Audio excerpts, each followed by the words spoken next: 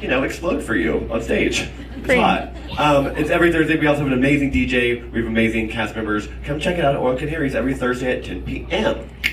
Woo! Hey, are we having a good time? Yes. Okay, everyone, you survived round one. Round one, fight. Now it's ready for round two. Fuck yeah. Now we're all switching. Everyone that did punk is gonna do pop, hi. And everyone that did pop is gonna do punk. And we're gonna give it to you, motherfuckers. Yeah, it's getting later, so okay. Can y'all know something? Okay, nobody's gonna know what this is, but right next door, like years ago, there used to be a bathhouse. Uh, yeah. He, oh yeah. Oh, yeah. You yeah. went. Yeah. Same. Um, yeah, bathhouse was right next door. It was a private men's health club where you could go. Oh my god, he's he's like, bye, going, going. It's not there, but you could kiss the ground because it was holy.